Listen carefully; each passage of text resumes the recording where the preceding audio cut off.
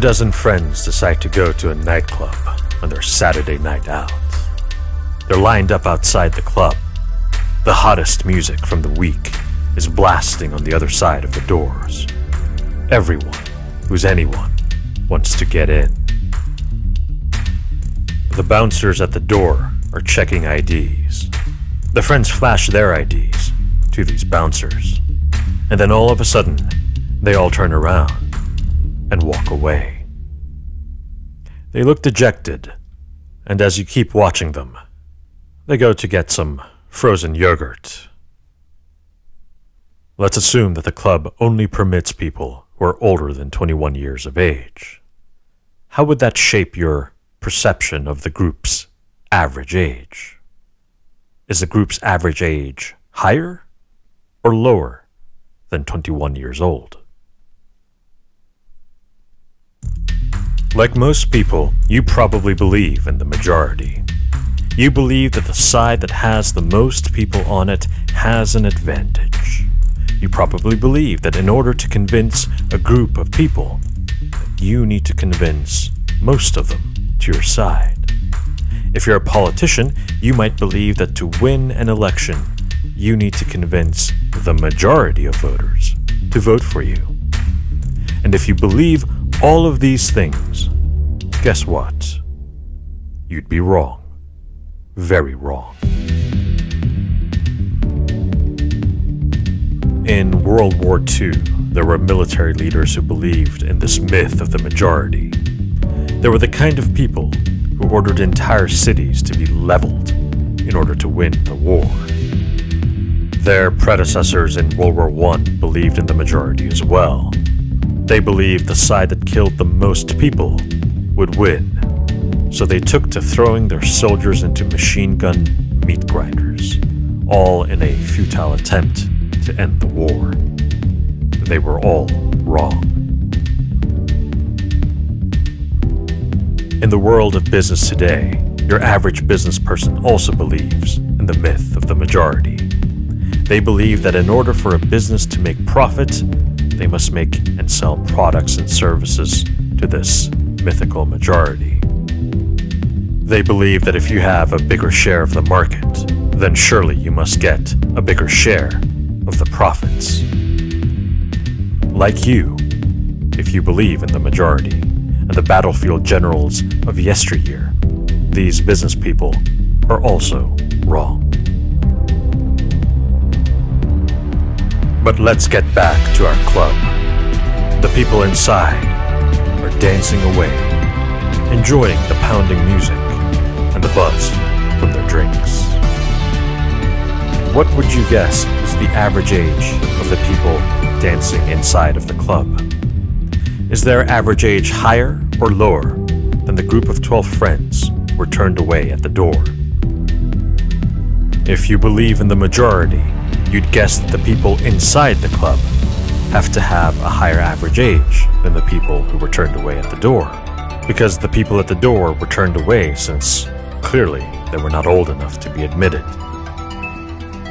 But here's the thing the average age of the group is actually a silly question to even ask about. The group isn't checked for its average age. Each individual member of the group presents their identification.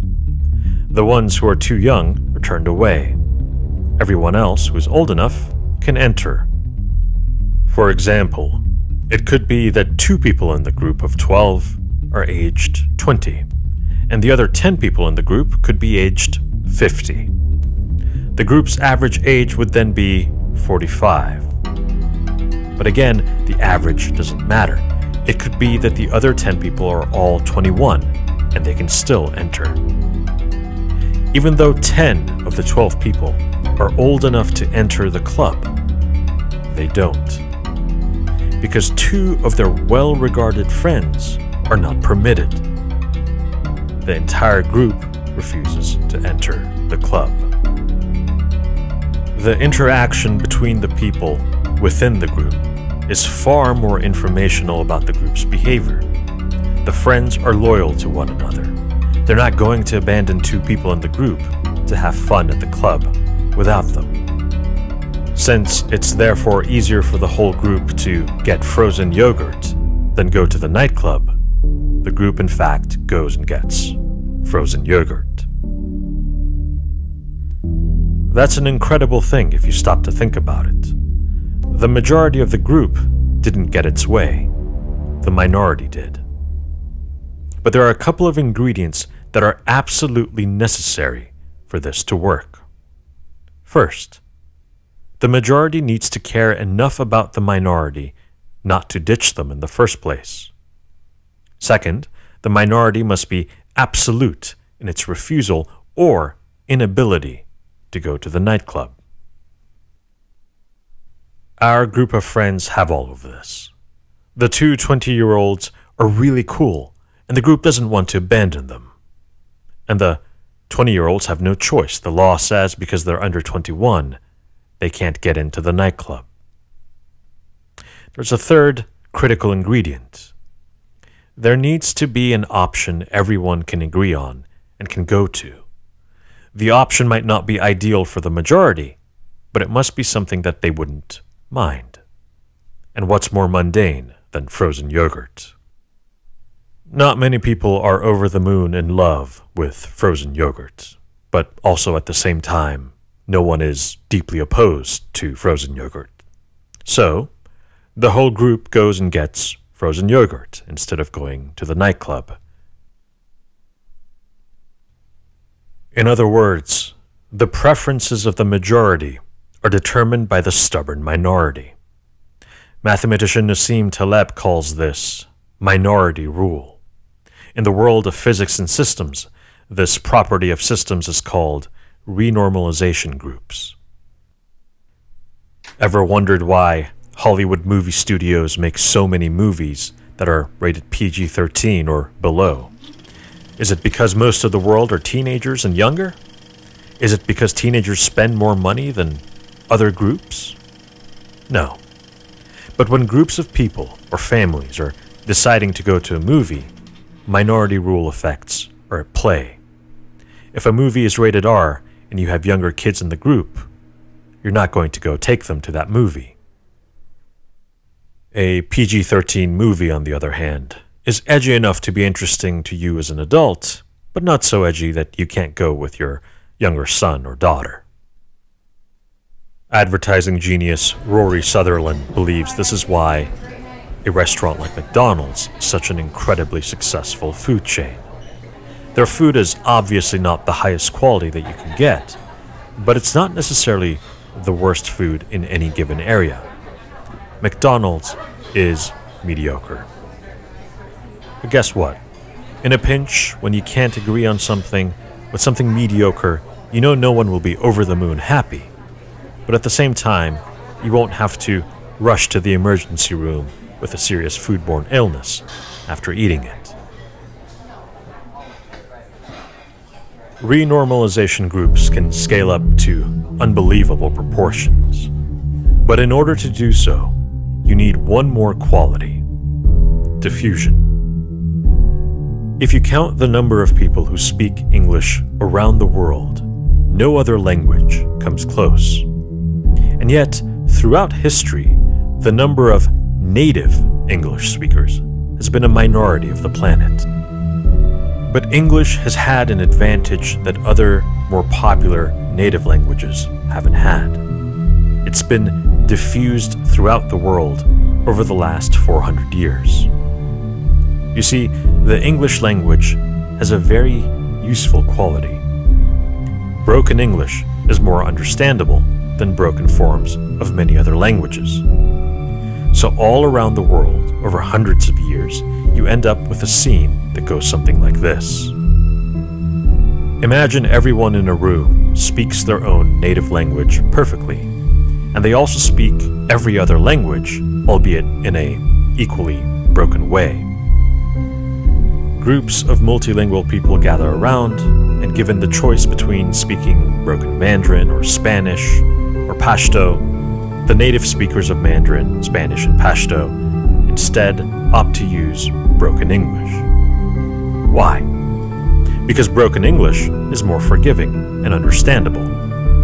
the language diffuses through the world.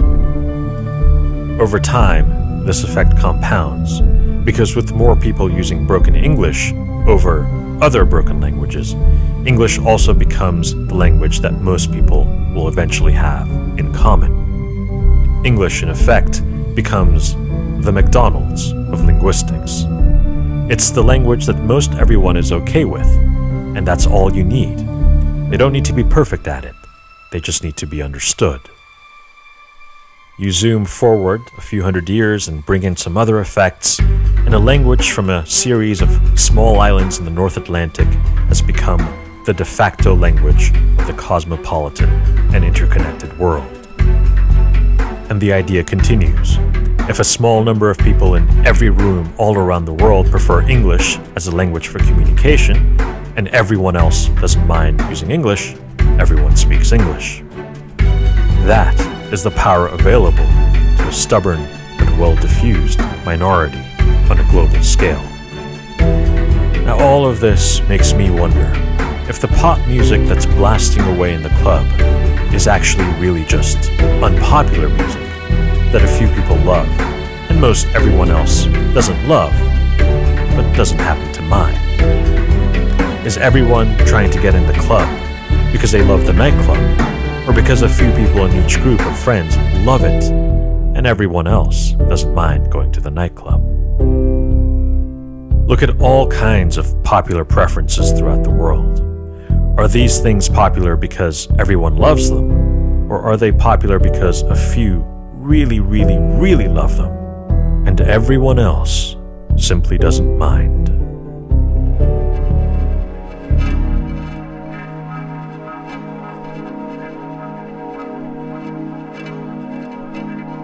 If you enjoyed the show, please consider going to iTunes and leaving us a good review, or tell someone who might enjoy this episode all about it.